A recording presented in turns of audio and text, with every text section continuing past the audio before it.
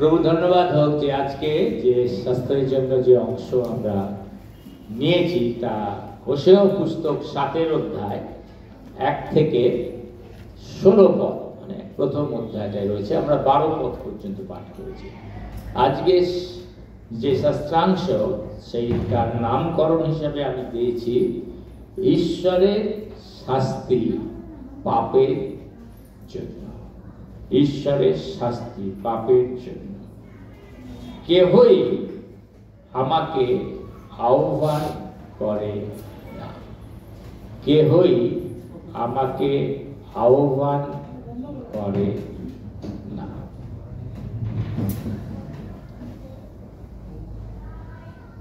ঈশ্বরের শাস্তি পাপের জন্য। আজকে এই নিয়ে আমি চতুর্থবার হোসেও পুস্তক থেকে বাক্য দিচ্ছি। এবং হোসেও পুস্তকটা বাইবেলে কোন পুস্তকের পরে আছে কেউ বলতে পারব? দানিয়েলের পরে আছে। দানিয়েল পুস্তক ছিল মেজর বড় ভাওবাদী পুস্তকের মধ্যে। তাহলে টোটাল কতগুলো ভাওবাদী পুস্তক আছে কেউ বলতে পারবেন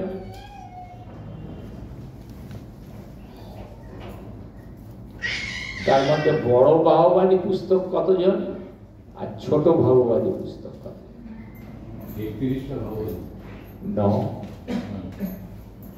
পুরাতন নিয়মে টোটাল কতগুলো পুস্তক আছে? কথা ন। উনচল্লিশ পুরাতন নিয়মে টোটাল উনচল্লিশটা পুস্তক। এবং উনচল্লিশটা পুস্তকের মধ্যে প্রথম পাঁচটা পুস্তককে কি পুস্তক বলা হয়? হ্যাঁ প্রথম পাঁচটা পুস্তককে কি পুস্তক বলা? কি? ব্যবস্থা পুস্তক। ব্যবস্থা মানে ল, আইনের পুস্তক, তাই না? আদি যাত্রা লেবীয় গণনা, দ্বিতীয় বিবরণ, পাঁচটা পুস্তক। জিহসু বিচার কর্তৃক বিবরণ সমুয়ের সমুয়ের রাজা বলি রাজা বলি বংশা বলি বংশা, ইসরা ইস্টের পর্যন্ত কতগুলো পুস্তক? বারোটা পুস্তক। এই বারোটা পুস্তককে বলা হয় ইতিহাস পুস্তক। ওকে? দ্বিতীয় বিবরণের পরে বারোটা ইতিহাস পুস্তক। আর ইতিহাস পুস্তকের পরে ইয় গীত সংগীতা হিত উপদেশ উপদেশ পরম গীত, এই পরম গীত পর্যন্ত পাঁচটা পুস্তককে বলা হয় কবিতা পুস্তক। পরম গীত বিলাপ জিস্কেল দানিয়েল। এই পাঁচটা পুস্তককে বলা হয় বড় ভাববাদী হোসে জোনামি খানো হোম হবকুক স্বপনীয় হগয় সকরীয় মালাখি। কতগুলো হলো? হোসায় থেকে লালাখি পর্যন্ত? ঈশ্বরের বাক্য সদাই সত্য এসে আমরা সবে শিখি। টোটাল বারোটা ছোট ভাববাদী পাঁচটা বড় ভাববাদী সতেরোটা পুস্তক হচ্ছে বাহবাদী। পুস্তক এবং তার মধ্যে ছোট ভাববাদী পুস্তক হচ্ছে, বারোটার মধ্যে প্রথম পুস্তক হচ্ছে আর এই হোসেও শব্দটা এসেছে কোন শব্দ থেকে? হোসাইও। ঠিক একই অর্থ মূল রূপ যেটা নেওয়া হয়েছে কোথা থেকে? জিসাইও বা জিহসুও, ইয়েসু। কথার অর্থ কি? উদ্ধার। অর্থাৎ হোসায় কথার অর্থেও সদাপ্রভু উদ্ধার তাহলে হোসেওর নাম এইরূপ ভাবে রাখা হয়েছিল।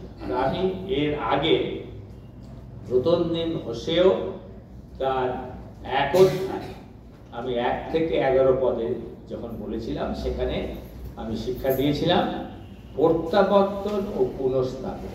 তার মানে ইসরায়েল সন্তানদেরকে পাপ থেকে প্রত্যাবর্তন করতে বলছে এবং তাদেরকে পুনঃস্থাপন, পুনরায় স্থাপন করবে এই বলে ঈশ্বর কি করছেন? ভবিষ্যৎ বাণী করছেন, আশ্বাস দিচ্ছেন, প্রত্যাশা দিচ্ছেন।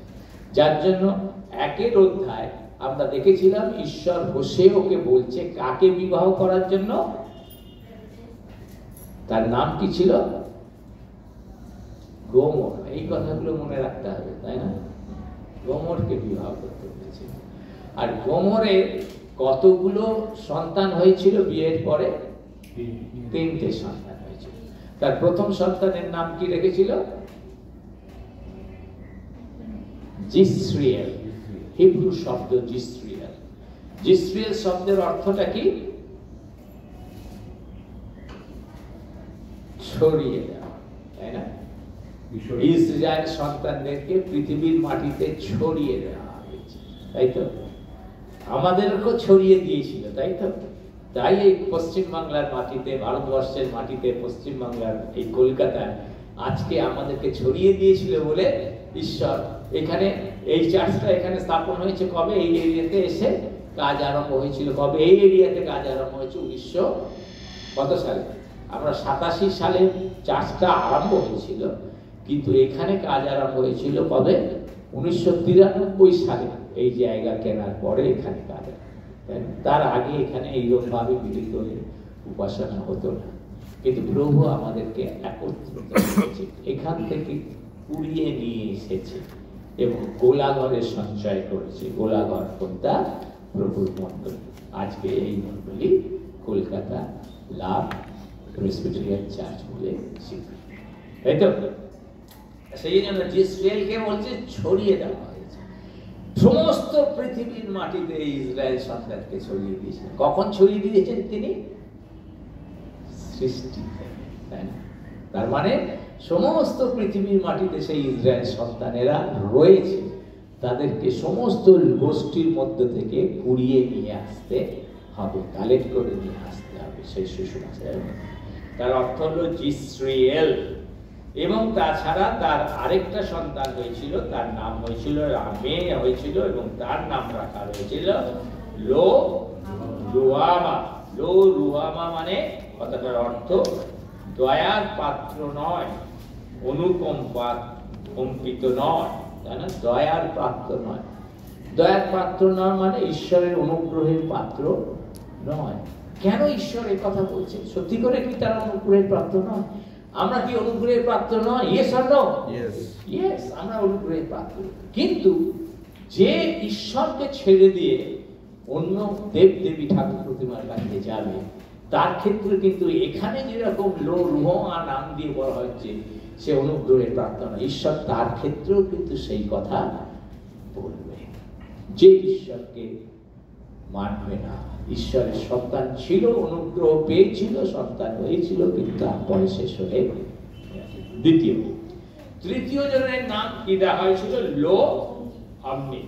লো অমনি নট মাই পিপল আমার প্রজা নয়, আমার লোক নয়। ঈশ্বর কি আমাদেরকে আমার লোক নয় এই কথা বলতে চান? কখনোই নয়। কারণ তিনি যখন আমাদেরকে মনোনীত করেছেন, কেমন প্রতিশ্রুতি তিনি আমাদেরকে মনোনীত করে করেছেন? আমরা যদি খুলে দেখতে চাই, আমরা দেখব দ্বিতীয় বিবরণ। যদি আমরা খুলি, তার সাতের অধ্যায়। দ্বিতীয় বিবরণ, সাতের অধ্যায়, ছয় পদ। যদি আমরা প্রভু বাক্যে এই কথা লেখা রয়েছে। সাত অধ্যায়, ছয় পদ। সেখানে বাইবেলে বলছে আমাদের ঈশ্বর কথা বলছে, কেননা তুমি আপন ঈশ্বর সদাপ্রভু পবিত্র প্রজা, ইসরায়েলকে বলছে তুমি আপন সদা প্রভুর পবিত্র প্রজা, ভূতলে যত জাতি আছে, সে সকলের মধ্যে আপনার নিজস্ব প্রজা করিবার জন্য তোমার ঈশ্বর সদা প্রভু তোমাকে মনোনীত করিয়াছেন। সাতপদ অন্য সকল জাতি অপেক্ষা তোমার, তোমরা সংখ্যাতে অধিক। এই জন্য যে সদা প্রভু তোমাদেরকে স্নেহ করিয়াছেন মনোনীত করিয়াছেন তা নয়। কেননা সমস্ত জাতির মধ্যে তোমরা অল্প সংখ্যক ছিলে। কিন্তু সদাপ্রভু তোমাদেরকে প্রেম করেন এবং তোমাদের পিতৃপুরুষদের কাছে যে দিব্য করিয়াছেন, তাহা রক্ষা করেন। তন্নিমিত্ত সদাপ্রভু বলবস্ত দ্বারা তোমাদেরকে বাহির করিয়া আনিয়াছেন এবং দাস গৃহ হইতে বিশ্বর রাজের পৌরের হস্ত হইতে তোমাদেরকে মুক্ত করিয়াছেন। অতএব নয় পদ তুমি জ্ঞাত হও, তোমার ঈশ্বর সদাপ্রভু ঈশ্বর তিনি বিশ্বসনীয় ঈশ্বর যারা তাকে প্রেম করে ও তাহার আজ্ঞা পালন করে, তাহাদের পক্ষে সহস্র পুরুষ পর্যন্ত নিয়ম ও দয়া রক্ষা। আমাদের ঈশ্বর সদাপ্রভু, এইরূপ ঈশ্বর, ইসরায়েলের ঈশ্বর সদাপ্রভু, এইরূপ ঈশ্বর। তবে কেন ঈশ্বর এখানে বলছে সেই ইসরায়েল সন্তানদেরকে এই নাম দিয়ে বলছে, লো অগ্নি, সে আমার প্রজা নয়, সে আমার লোক নয়, কারণ তারা ঈশ্বর থেকে দূরে সরে গেছে। প্রভু এই সময় এই হোসেয়া পুস্তকের মধ্য থেকে প্রভু আমাকে তৈরি করেছে ঈশ্বরের বাক্য শেয়ার করার জন্য। এই কারণে যে আজকে আমরাও বাস করছি এই কলকাতার মাটিতে এই পশ্চিমবাংলার মাটিতে, এই ভারতবর্ষের মাটিতে আমাদের আশেপাশে কারা আছে? সবাই তাদের মধ্যে প্রভু আমাদেরকে অবশিষ্টাংশ করে, মনোনীত করে, তার লোক করে, তার প্রজা করে তিনি আমাদেরকে এখানে রেখেছেন। অতএব আমাদেরকে যখন এখানে তিনি রেখেছেন, আমরা দেখব যে আমরা এই হোসয়ের সময় যে ইসরায়েল লোকেরা সে পরজাতীয়দের সাথে মিশে গেছিল, এই হোসেয়ার ইসরায়েল লোকেরা এই পরজাতীয়দের সাথে মত্ত হয়ে গেছিল। আজকে আমাদের মধ্যেও, খ্রিস্ট বিশ্বাসী ভাই বোনদের মধ্যেও সেই রকম লোক কি আছে? যদি থাকে, আমার ঘরে কেউ থাকে? আপনার পরিবারে কেউ থাকে? আপনার স্ত্রী হতে পারে, আপনার স্বামী হতে পারে, আপনার ছেলে হতে পারে, আপনার মেয়ে হতে পারে। আমরা খ্রিস্টান বলে পরিচিতি দিচ্ছি। ডেফিনেটলি আমাদের ভোটার আইডিতে বা আমাদের আইডিতে মেনশন আছে রিলিজিয়ান কি? খ্রিস্টান কিন্তু খ্রিস্টান হয়েও আজকে কি আমরা সেই রকম এই চারিদিকে পূজা, আর্চা এই সমস্তর মধ্যে কি মেতে রয়েছি পরজাতীয়দের তাহলে কিন্তু প্রভু একই কথা আমাদের জন্য রেখেছে। দ্বিতীয় দিনে আমি আপনাদের সাথে শেয়ার করেছিলাম হোসেয়া তার ছয়ের অধ্যায় থেকে। এবং ছয়ের অধ্যায় এক থেকে তিন পদের মধ্য থেকে আমি শেয়ার করেছিলাম। সেখানে বলা হয়েছে এক পদে, চলো আমরা সদা প্রভুর কাছে ফিরিয়া যাই। হোসেও তাদেরকে উৎসাহ দিচ্ছে যে ঈশ্বরকে তোমরা চলে গেছিলে, কিন্তু তোমরা ফিরে এসো। চলো আমরা সদা প্রভুর কাছে ফিরিয়া যাই। ওকে এবং তারপরে আমি গত রবিবার দিনকে আপনাদের সাথে শেয়ার করেছি, সেই আমি দয়ায় চাই বলিদান কেন এই কথা শেয়ার করা হয়েছিল? কেন এই কথা ঈশ্বর বলেছিলেন? কারণ তারা মনে করছিল পাপ অপরাধ করে বলিদান দিয়ে সমস্ত কিছু সমস্যার সমাধান করে দেওয়া যাবে। এবং সেই বলিদানটাও হতে হবে কি অনুসারে? ঈশ্বরের বাক্য অনুসারে, ব্যবস্থা অনুসারে, নির্দেশ অনুসারে। কিন্তু সেটা তারা করছিল আজকে আমি শেষ বাক্য দেব হোসেয়া থেকে। সেটা হচ্ছে এই ফাস্টিং এ বসবার পূর্বে।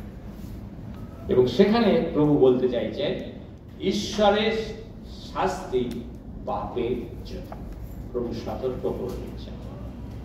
ঈশ্বর শাস্তি রেখেছেন আমাদের পাপের জন্য। কিন্তু ঈশ্বর কি এক্সপেক্ট করেন? সাত পদে, সাত অধ্যায়, সাত পদের শেষে লেখা রয়েছে, তাহাদের মধ্যে কেউই আমাকে আহ্বান কেউই আমাকে আহ্বান করে। ঈশ্বর অন্বেষণ করে, কি করেন যেন অন্তত একজন প্রভুর দিকে প্রভু সেই অন্বেষণ করে। এবং যার জন্য আমরা দেখতে পাই, ঈশ্বর যখন সদম গোমরাকে ধ্বংস করতে চেয়েছিলেন, কেন ঘটনা ঘটকাতে চেয়েছিলেন? সদম গোমরা পাপে তারা ঈশ্বর থেকে দূরে সরে গেছিল। গতকালকে পক্ষান্তরে আমরা এই যে প্রত্যেক দিন সন্ধ্যেবেলায় ছটা থেকে আটটা ছিল সেটা এই শীতকাল পড়েছে বলে এই মাস থেকে আমরা সাড়ে পাঁচটা থেকে সাড়ে সাতটা তা সাড়ে পাঁচটা থেকে সাড়ে সাতটায় আমি এখানে এসে পড়ি। আমার সাথে লাইনে আমি ফোনে যতজনকে ধরতে পারি, সাত, আট জন থাকে, তারা থাকে। তারা ঘর থেকে আমার সাথে কানেক্ট থাকে কিন্তু এখানে প্রথম দিকে আমাদের এখানে আসতো অ্যাটেন্ড করতো দুজন, পাঁচজন, দশজন পনেরো জন বিশ জন পর্যন্ত ছিল। কিন্তু এখন আমি দেখি সেখানে স্মৃতিলতা এসে গেছে। এবং সেখানে কখনো একজন, কখনো দুজন, কখনো তিন, চারজন আসছে। এবং এটার মাধ্যমে প্রভু আমাকে কি প্রেরণা দিয়েছিলেন কোরিয়া থেকে ফেরার পরে? প্রভু প্রেরণা দিয়েছিলেন যে আমরা যেন কি তৈরি করি? প্রার্থনার যোদ্ধাকারী তৈরি তার কারণটা কি? যীশু খ্রিস্ট যখন স্বর্গারোহণ করেছিলেন, স্বর্গারোহণ করার সময় তিনি তার শেষ আদেশ দিয়ে গেছিলেন। শেষ আদেশ দিয়েছিলেন সেই সময় তিনি কি বলেছিলেন? শেষ আদেশে?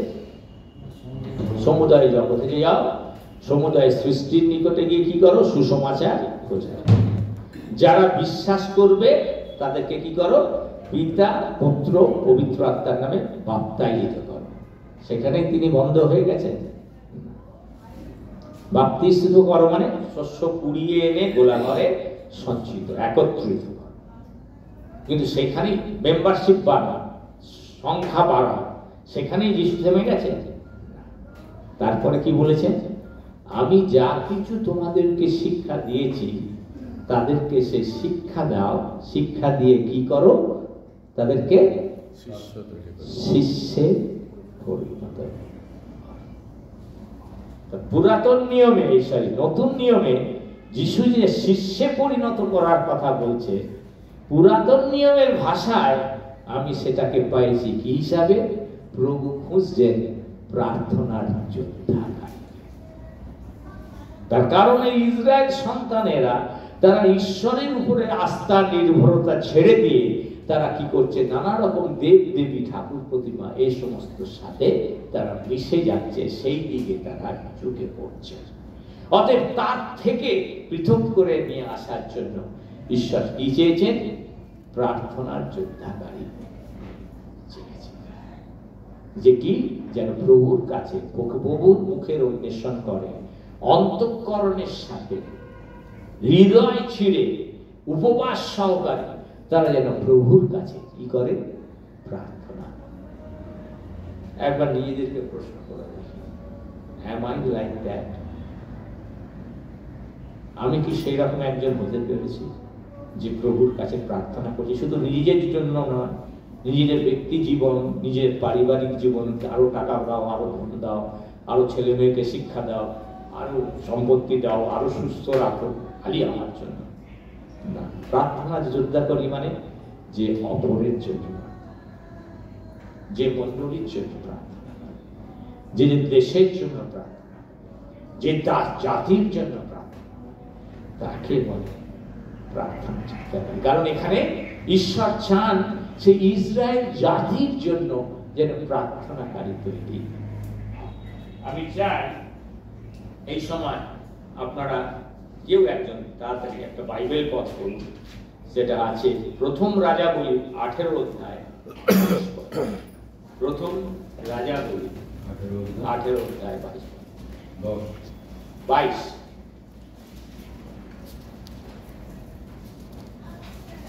তখন এলিয় লোকদিগকে কহিলে আমি কেবল একা আমি সদাপ্রভুর ভাববাদী অবশিষ্ট আছি। কিন্তু বালের ভাববাদীগণ চারি পঞ্চাশ জন তাহলে কে বলছে? একটা সময় এসেছিল যখন ভাওবাদী হিসাবে খালি ঈশ্বরের পক্ষে একজন ছিল। তাই না? ঈশ্বর সেই রকম লোকদেরকে খুঁজছেন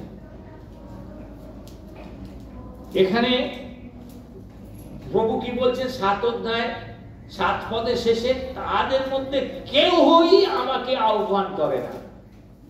এই সময় রাজা কে ছিল? রাজা জারবিয়াম ছিল। এবং সেই সময় কি হয়েছে? সেই ইসরায়েল জাতি এমন হয়ে গেছে যে তারা মদ, মাতলামি এবং নানা রকম দেব, দেবী, ঠাকুর প্রতিমা এই নিয়ে মত্ত রয়েছে।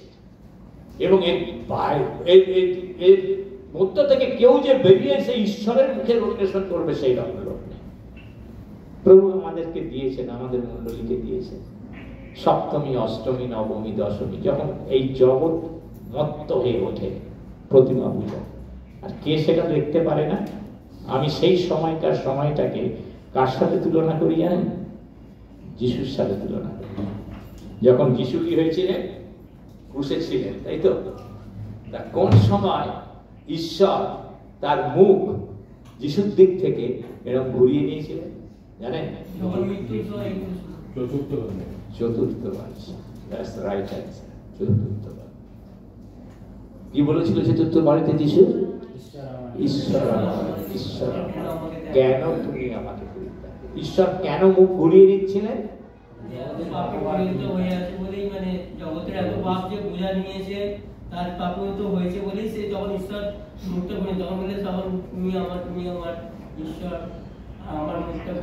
ঠিক আছে, কিন্তু সেটা আরও সঠিকভাবে বাইবেল ভিত্তিক ভাবে আইনগত ভাবে বলতে গেলে কি হবে সেটা? সেটা বাইবেলে লেখা রয়েছে যাকে গাছে টাঙানো যায় সে সাপ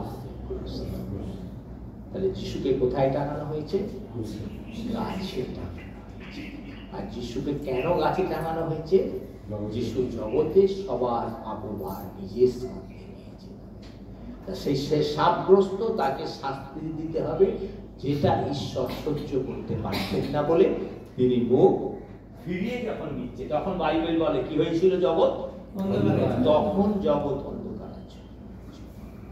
এবং তখন যিশু চেঁচিয়ে উঠে বলছিলেন ঈশ্বর আমার ঈশ্বর আমার কেন তুমি আমাকে পরিত্যাগ করছ?"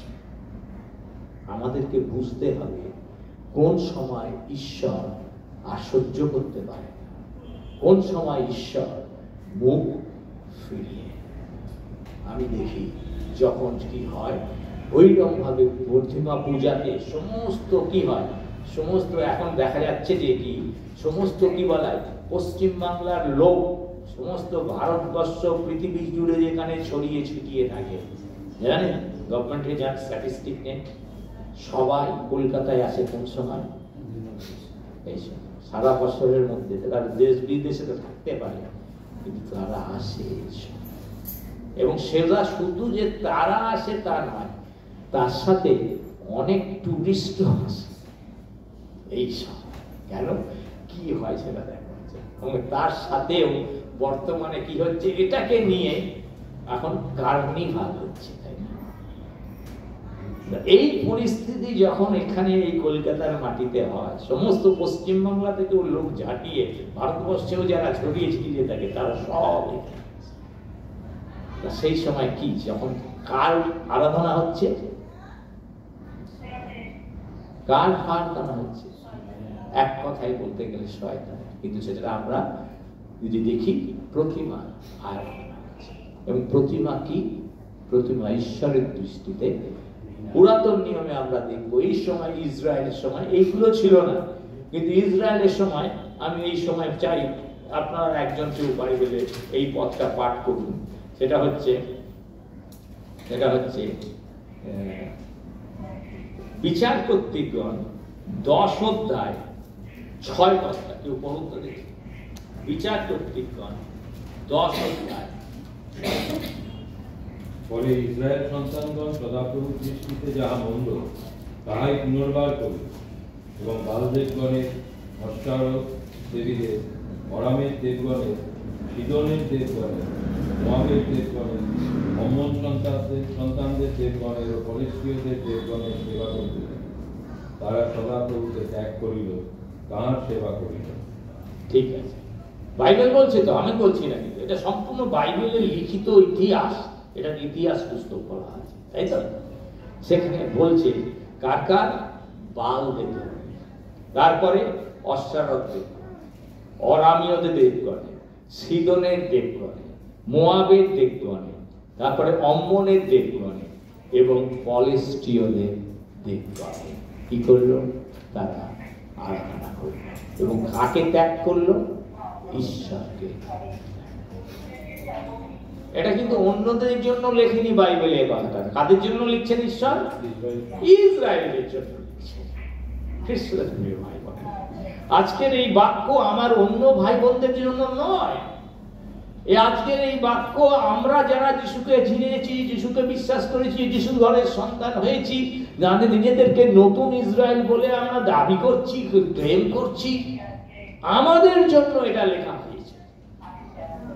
আমরা কি করছি? বিশ্বাস প্রিয় ভাই বোনেরা, এই এই হোসের পুস্তকে আমরা দেখি যে তখনকার সময় যে মূর্তি পুজোর ভয়ঙ্কর ফলকে দোষী করা হয়েছে। তা সেই জন্য টাইটেলে কি বলা হয়েছে? ঈশ্বরের শাস্তি পাপের জন্য। কোন পাপের জন্য কথা বলছে? এই দেব দেবী প্রতিমা পূজার পাপের কথা সত্যি আমার আমার বাইবেল পড়ার পড়ে শিক্ষার মধ্য থেকে আমি এইটুকু পেয়েছি। দেখুন, যখন যাত্রা পুস্তক কুড়ি অধ্যায়, ঈশ্বর দশ আজ্ঞা দিলেন কাকে? মসিকে, তো?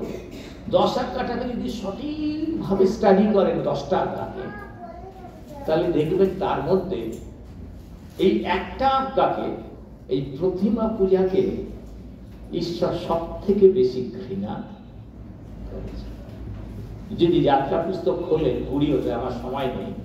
কুড়ি অধ্যায়, যদি আপনারা পরের চার পদ এই চার পদে দেখবেন সেখানে এই কথা লেখা রয়েছে যে আকাশের উপরে, তারপরে মাটির উপরে, তারপরে জলের নিচে কোনো কিছুর মূর্তি তৈরি করা নম্বর দু নম্বর কি বলেছে? মূর্তি তৈরি করা যাবে দ্বিতীয় বলেছে, তার সম্মুখে গিয়ে প্রণিপাত করাই পুরাতন নিয়মে আমরা শিখেছি, আমি একদিন শেয়ার করেছি, সেটা হচ্ছে ঈশ্বরের উপাসনা করা। প্রণিপাত করা যাবে যদি আমার ঘরেও একটা যিশুর ছবি রাখি, বা যিশুর একটা মূর্তি টাঙিয়ে রাখি, এবং আমাদের খ্রিস্টানদের মধ্যেও এমন এমন গ্রুপ রয়েছে, তারা তাকে তার সামনে ধূপ ধুনো এই সমস্ত। বাইবেল কিন্তু পরিষ্কার না বলছে ইউ ক্যানট ডু তৃতীয় কি বলেছে? সেবা কোন রকম ভাবে সেবা পুজোর চাঁদা দেওয়া মানে তার সেবা।